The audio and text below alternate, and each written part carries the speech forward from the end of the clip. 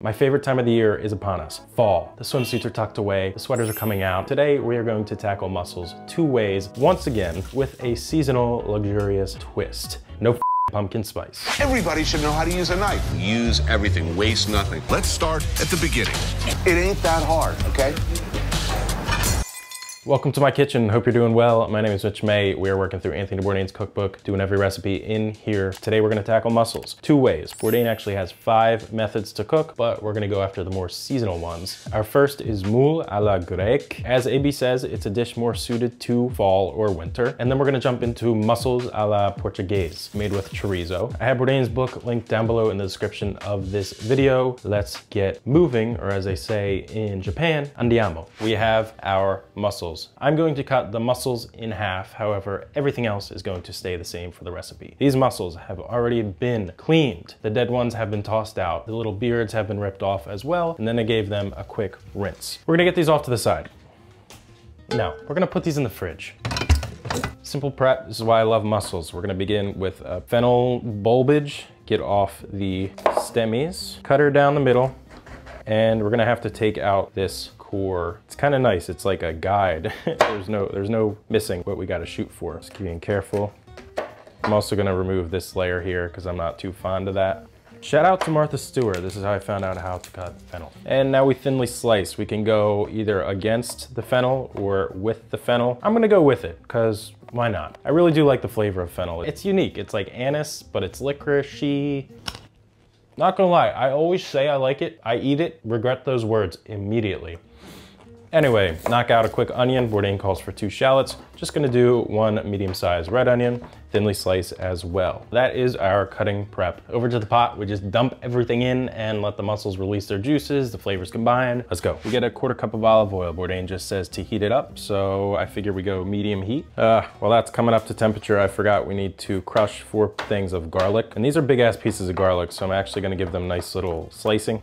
Beautiful. I am going to add the fennel and onion first and then hit the garlic towards the end. The garlic is gonna need a little more, a little less love rather. Let those onions and fennel sweat a little bit. Let me know what you think about mussels, really your favorite version of mussels. I can eat them anyway, literally just boiled, but if you have like one that you prefer, fire away, I freaking love mussels. You could do a drinking game with the amount of times I say mussels in this freaking episode. Before we get any color there, add our garlic. Let that cook for probably two, three minutes. Once I smell it, then I move on to the next step, which honestly, I smell it already, but that's probably just because I'm coated in it. I could kill 19 vampires just by looking at them. Now going to add our white wine coriander. I don't have the whole seeds, I just have ground. Supermarket did not have fennel seeds, so we're gonna cook this sans fennel. We're gonna bring this up to a boil. Get a nice little steam therapy for my left hand. I'm gonna hold off on the salt because mussels have the lovely essence of the salty sea in them already. Just gonna add half of these in there, stir, we slap on the lid. Bourdain says cook until done, which is very soon. Seven minutes. Our lovely mussels have died and opened. Of course, we have to get this freaking broth all up in there. Doop, ba-doop, boot. You know what I wonder? Can you overcook mussels, or rather undercook as well? Mm, if only I had a piece of bread to soak up that sauce. This is honestly my favorite part of eating mussels, getting that juice. The broth alone I definitely understand the vibe with the whole seasonal kind of warmish flavors because it's definitely really nice, sweet flavor that I've never had with mussels before. Give ourselves a little check mark here and let's move on to the much more robust Portuguese version. Moule à la Portugaise. I like how Bourdain says, I had to include this, my boss is Portuguese. Everything's prepped up. We're gonna just kind of rapid fire this here, but I do want to show you the one ingredient that I unfortunately couldn't find, chorizo. The chorizo that I found was full of nitrates and a whole lot of bullshit.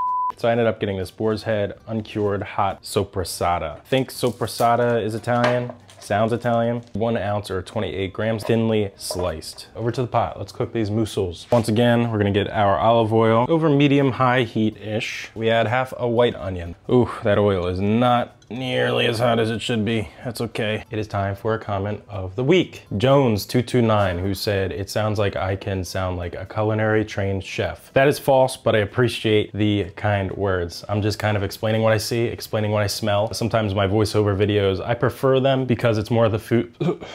because it's more of the food and less of my goofy looking face. Thank you for your comment, man. I really appreciate it. Let's get moving. All right, let these do their thing. Cool little tip I found, wrapping herbs with a moist towelette and then plastic wrap. It really allows them to live quite a long time, looking fresh, looking clean. Our chorizo and our garlic.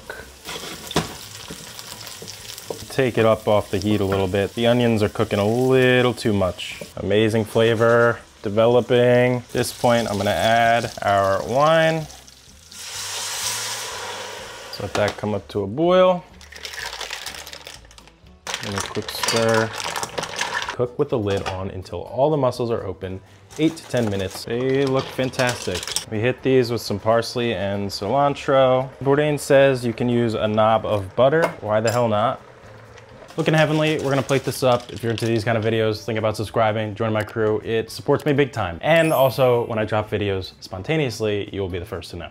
I have to try a presentation Bourdain recommends in the beginning of the mussels section. To quote, spreading each shell open slightly and resting each mussel upright in a sort of tight floral or concentric pattern. You can, if you don't burn your fingers too badly, make a cookbook ready money shot. Just do it quickly. It might be worth a try.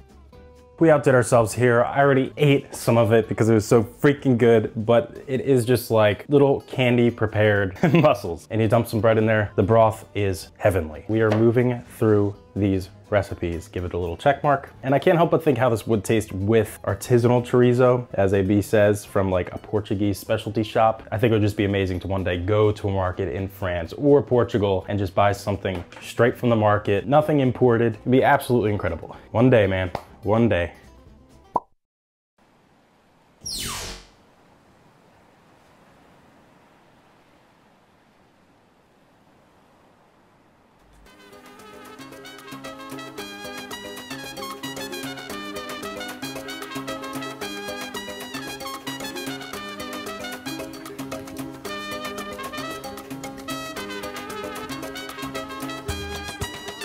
What's up?